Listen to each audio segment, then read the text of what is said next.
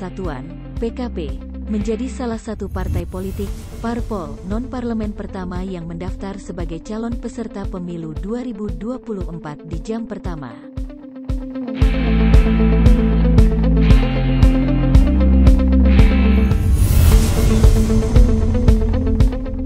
Hari ini, Senin, seperdelapan, tepat pukul 8 adalah jam pertama Komisi Pemilihan Umum, KPU, membuka pendaftaran parpol calon peserta pemilu 2024 di kantor KPU, Jakarta Pusat. PKP pun tambah pede.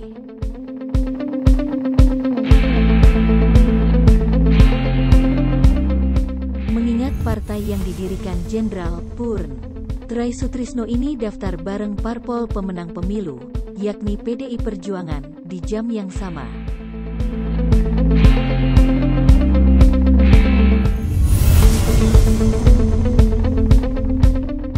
Pagi ini pendaftaran ke KPU. Seperti komitmen saya saat pelantikan dan ulang tahun PKP, bertekad akan jadi partai pertama yang mendaftar ke KPU. Banyak yang pesimistis saat itu. Ternyata bisa. Kalau ada kemauan, pasti ada jalan, tidak ada yang tidak mungkin, kata Ketua Umum Dewan Pimpinan Nasional, depan PKP Maijen Marinir, Purn. Yusuf Solicin saat mengumpulkan pengurus di kantor depan PKP di Jalan Cirebon 21, Menteng, Jakarta Pusat, kemarin.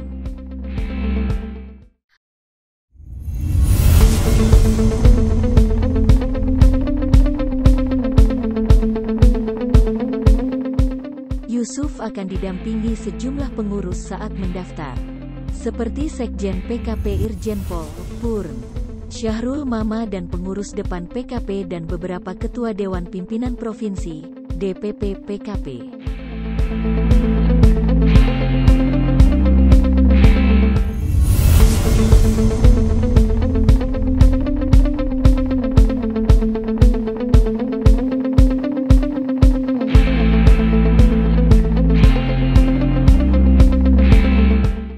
Pendaftaran PKP di hari pertama ini, kata Yusuf, menunjukkan PKP sudah siap menghadapi verifikasi administrasi maupun faktual KPU. Kelengkapan persyaratan PKP telah 100% diunggah ke Sipol KPU.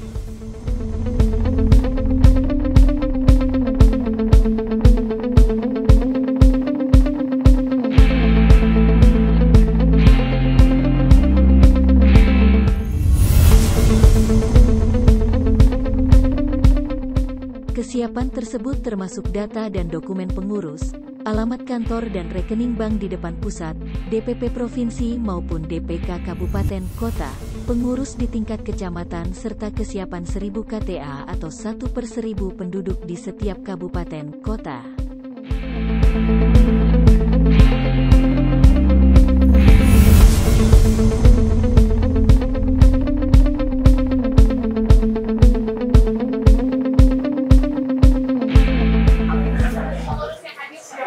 Selamat pagi teman-teman media. Assalamualaikum warahmatullahi wabarakatuh. Langsung pertanyaan atau statement dulu dari saya? Gitu ya. Hari ini tanggal 1 Agustus 2022 jam pertama hari pertama pendaftaran KPU PKP Partai Keadilan dan Persatuan dulu namanya Partai Keadilan dan Persatuan Indonesia. Tolong teman-teman media mencatat sekarang bukan lagi PKPI, tapi PKP Partai Keadilan dan Persatuan itu berdasarkan hasil munas. Bisa tegaskan supaya masih ada aja teman-teman wartawan masih menyebut PKPI. PKP. PKP pendaftar pertama di KPU dari partai non parlemen. Karena tadi pagi uh, dari rekan-rekan PD Perjuangan sudah apa uh, jam 8 lebih dulu dari kita, kita non parlemen yang pertama. Apa ini artinya? Artinya bahwa PKP sudah siap 100% untuk verifikasi administrasi maupun verifikasi faktual teman-teman media, bisa dibayangkan bentangan wilayah kita itu ada 34 provinsi, ada 514 kabupaten kota, ada 7.800 lebih kecamatan yang harus kita siapkan. Pengurusnya, kantornya, rekening banknya, kemudian tiap-tiap kabupaten kota harus menyiapkan 1000 KTA. Katakanlah kalau 514 itu hampir 500 ribu KTA atau seper seribu penduduk. Ini bukan hal yang mudah bagi partai politik. Akan tetapi PKP dengan kemauan yang kuat, tekad dan semangat yang tinggi, berupaya berjuang bersama-sama, berpotong royong, dari pusat sampai daerah-daerah, sampai pelosok-pelosok eh, desa-desa dan kelurahan, kita bahu-membahu untuk menyiapkan syarat-syarat yang dipersyaratkan oleh KPU tadi. Uh, syukur Alhamdulillah teman-teman media, PKP sudah memasukkan 100% data ke Sipol. Dan ya mudah-mudahan tahapan selanjutnya, tahapan administrasi maupun tahapan uh, faktual akan berjalan lancar dan insya Allah 14 Desember PKP akan lolos sebagai peserta pemilu 2024. Amin dan amin. Teman-teman media, PKP bukan partai kemarin sore. Kita sejak tahun 99, 1999 sampai 2019 ikut terus menjadi peserta pemilu dalam kontestasi politik lima Jadi kita sudah terbiasa akan tetapi dengan sistem politik yang diluncurkan oleh KPU sekarang ini, ya kita bersyukur alhamdulillah. Oleh karena itu kami sampaikan kepada bapak-bapak komisioner KPU di dalam bahwa kami berterima kasih dan mengakan penghargaan setinggi-tingginya buat KPU yang sudah menunjukkan sipol. Ini sangat memudahkan. Dan memang ya teman-teman, kita ini kan era digital, teknologi informasi. Kalau kita masih cara-cara lama, coba bisa dibayangkan kalau kita harus bawa hard copy dari 34 provinsi 514 kabupaten kota, 7.832 kecamatan, berapa truk yang harus saya bawa ke KPU itu? Kontainer yang mungkin apa kontainer Tanjung Priok kurang berangkat.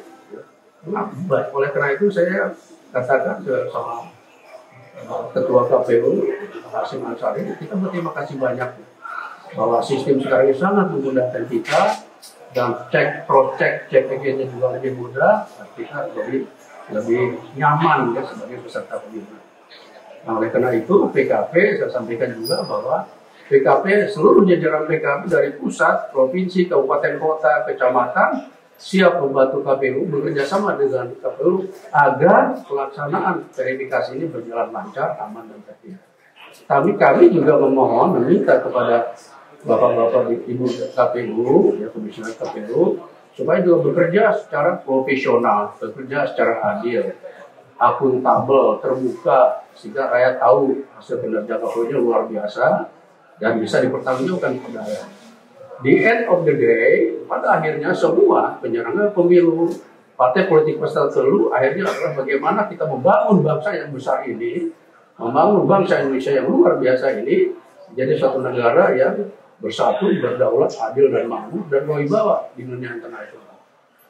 Nah itu barangkali ya dan uh, mungkin teman-teman media yang belum paham PKP bahwa PKP adalah komitmen kita adalah platform kita sebagai garda terdepan dan benteng Pancasila, Undang-Undang Dasar 45 NKRI dan Bhinneka Tunggal Ika dari segala bentuk ancaman ancaman disintegrasi bangsa, ancaman radikalisme, terorisme, intoleransi, diskriminatif, dan kelompok-kelompok yang ingin mengganti Pancasila. Itu berhadapan dengan PKB. Dan sejatinya PKB didirikan pada era reformasi 99 itu adalah sebagai jawaban atas situasi negara dan bangsa pada saat itu keadilan sudah jauh dari harapan, persatuan sudah tercabik-cabik, oleh karena itu PKP hadir di Republik ini untuk menjadi partai andalan bangsa yang tetap mendukung uh, perjuangan keadilan dan merajut persatuan dari seluruh bangsa dalam wadah besar negara kesatuan Republik Indonesia yang berdasarkan Pancasila dan Undang-Undang Dasar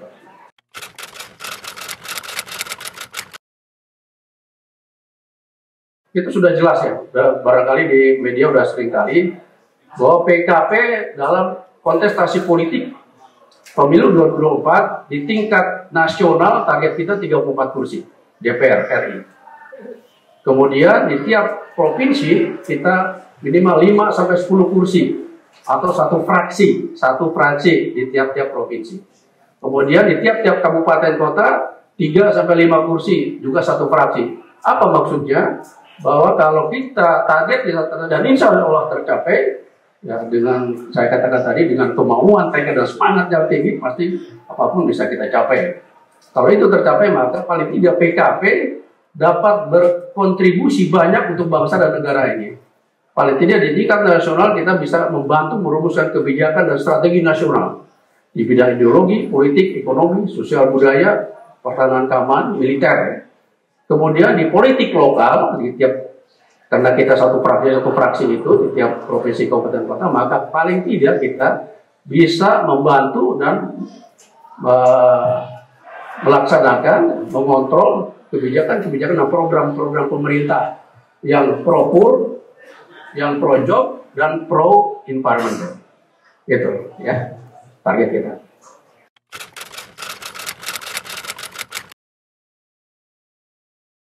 Koalisi berarti dalam dalam konteks pilpres ya. Ini pilpres ya, Pak ya. Oke, apa teman-teman media ini tolong dicatat betul nih si KPKP ini.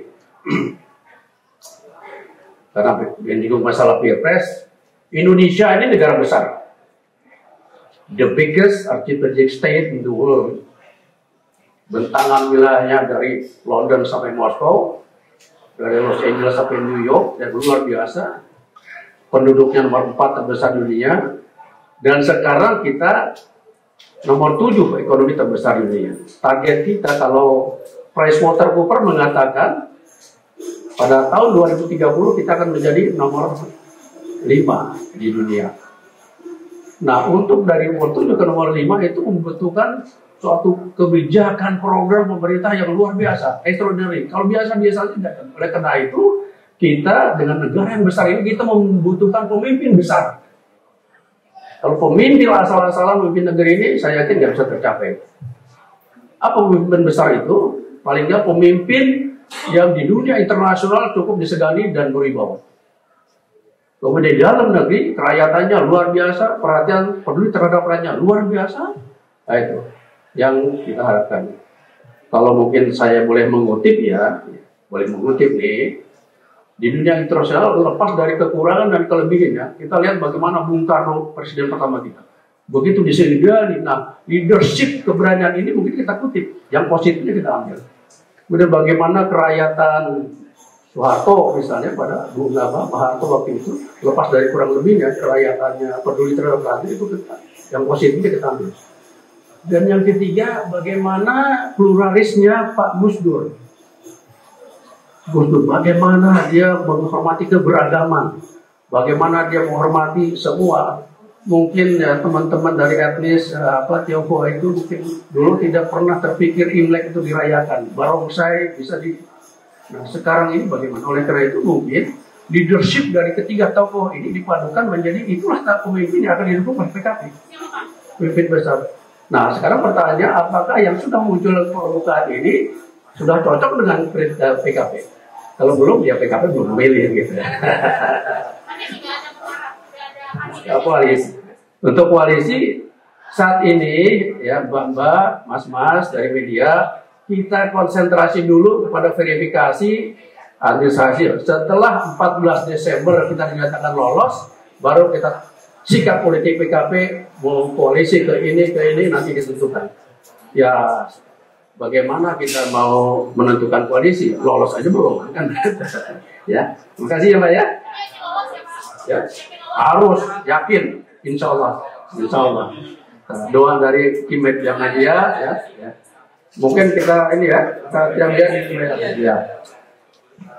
Siapa kita? PKB PKB PKB PKB jaya jaya jaya. Terima kasih. Assalamualaikum warahmatullahi wabarakatuh.